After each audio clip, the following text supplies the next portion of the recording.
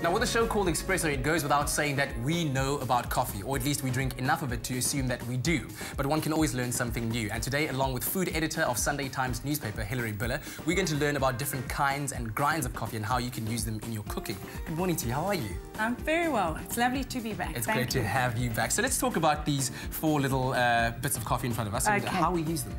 Okay, well, what we're going to do today, our lesson is about actually taking the, the drink that we love so much and putting it into food. Uh-huh. And did you know that coffee is the fastest growing beverage in the world? No, I didn't know that. Okay, but now I do.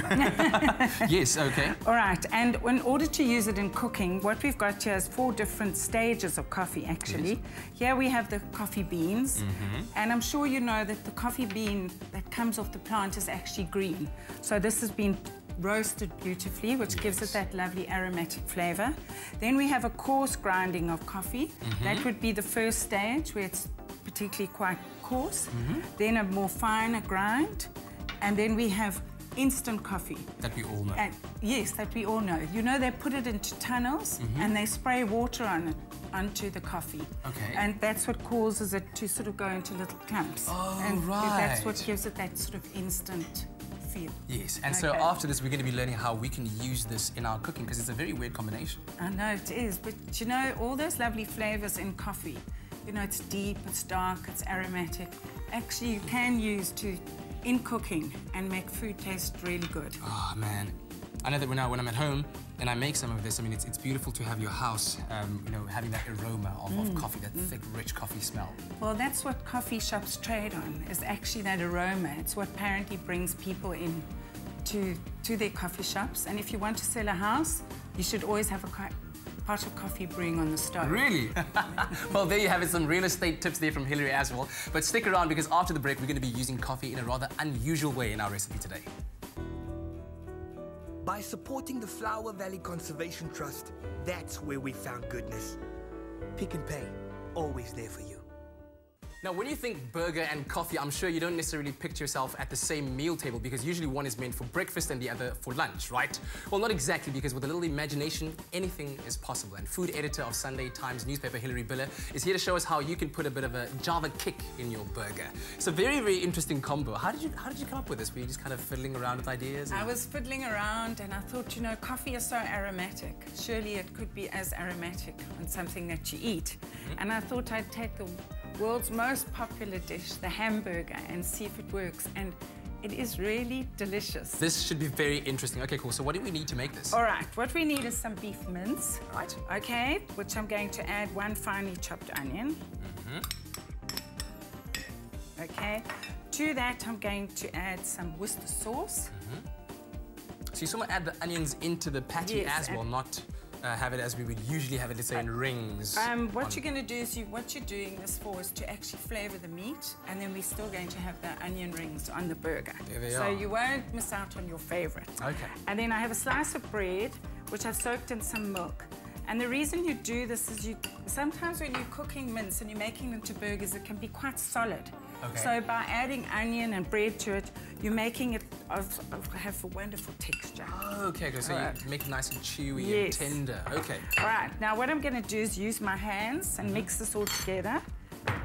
And then I'm going to shape it into the burgers. Mm-hmm. All right, and then once we've mixed it all together, which I've done here, is you shape them into burgers. Mm-hmm. And depending on how hungry your family is or how generous you're feeling, you can make them really nice and fat, or you can make them really skinny burgers if you're wanting to stretch it further. Yeah. Well, we've got a lot of crew members here, so let's, let's all right, keep it nice okay. and All right, and then I pop those onto a, a tray that's been sprayed with spray and cook so they don't stick.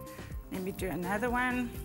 I must say this is it's looking surprisingly easy. When I when I think making a burger from scratch, I wouldn't necessarily have thought it to be this easy. It really is very, very easy.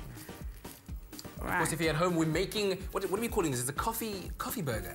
it's a coffee rubbed burger. Coffee rubbed burger. Mm. The ingredients to which you can get on your mobile phone if you SMS the keyword burger to 33728. Okay. Right, so we have our burgers and we're going to go on to, we've made four. I think that should just go around two each. Okay, that's right. Let's forget about the crew. Okay? Some unhappy faces there in the back. Sorry, sorry.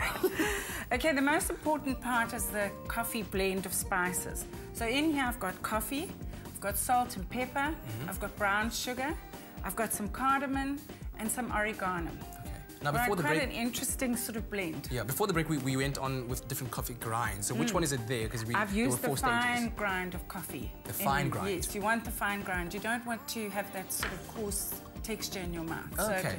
to- ideally the fine grind. Mm-hmm. And then what you do is you sprinkle it over the meat quite generously.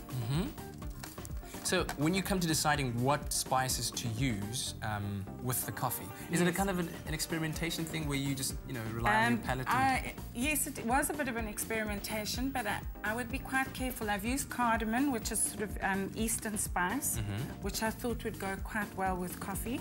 And then the oregano is, is a herb, Mm-hmm. and um, I just felt this worked very well together. Okie dokie. Okay, and then turn the burgers over. It's already getting that aromatic Can yes, I can scent. smell it. Ah, it's yes. gorgeous. Okie dokie. All right. Have you, by any chance, kind of patented this yet? Because I mean, I'm sure some restaurateur sitting at the back. there, Oh yes, oh yes, I'm going to start serving this today. Do you think I could? There's some potential in it. I don't know. Well, you, you know what you could do? You could make the world's most expensive burger by, by doing this and then using the world's most expensive coffee. Have you heard of that? It sells for 160 US dollars a pound. Yes, I have heard of it, and, And- it looks just like a chocolate log. The ingredients of it acquired from a very, very interesting source. All right, then uh, this can be cooked in a number of ways. You could fry it in a pan. I would use a non-stick pan, or you could put it under the grill in the oven, which I think is much better because none of the coffee spice sort of um, comes away from the burger. Or you could pop them on the brine. Okay. Oh, on the braai. There we Yes. go. Lekker enetjie vir Vrydag. Lekker Vrydag braaidag. And your oven would be at around? At about um, 180, 200, but ideally it should be grilled, so preheat the grill. Yes. Okay. Luckily, we've had some pre-made in here. And then, oh, they're looking amazing. Oh, look at that. Look at that. Okay. Get that too. Don't they smell good? They do. They do. And they look amazing too. Man. Okay. Okay. The magic of television. Now we right. make the burger. So what we're going to do is, really this is um, up to you what you feel like on your burger, but Mm-hmm. traditionally it would be lettuce to start off with. Would Okay. you like a little cloth there? Yes, please. There we go. For your hands. Thank you.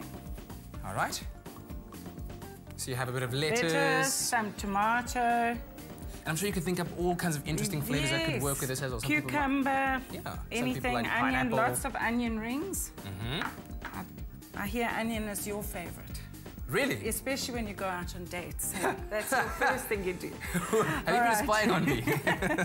And then top that with one of the burgers. yes. Doesn't that look good? That does look.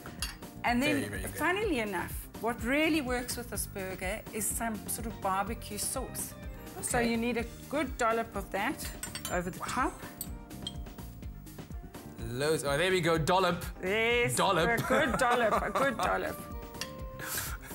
And All right. if you wanted to, you could pop a bit of lettuce over there. So if you've just joined us, we're making a coffee rubbed burger, which looks absolutely Mm. mouth watering, if I may say so myself. Thank you very much, Hilary. There we go. And uh, if you want the ingredients, SMS that keyword burger 33728 is the number, and you can have that. Oh man, tummy's grumbling. This is it. This is it right It's here. huge. We need to taste. Oh my goodness. Crew members in the back staring daggers at me.